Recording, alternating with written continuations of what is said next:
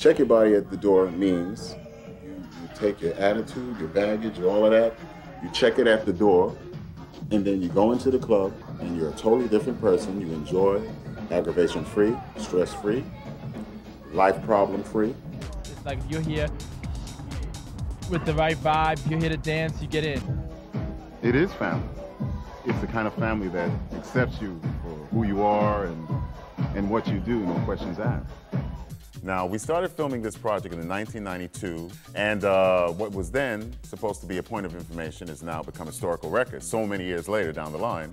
We filmed all over the place. We filmed in the car, we filmed in the, the street, we filmed in a club, we filmed in the studio, and about the studio. We purposely filmed it that way so that you can see exactly what these dancers do. And as far as I know, this is the first time that this dancing in the dark has been brought to light. Check your body at the door. Check, House is some freedom dancing. That's what it really is. check your body. There's no rules.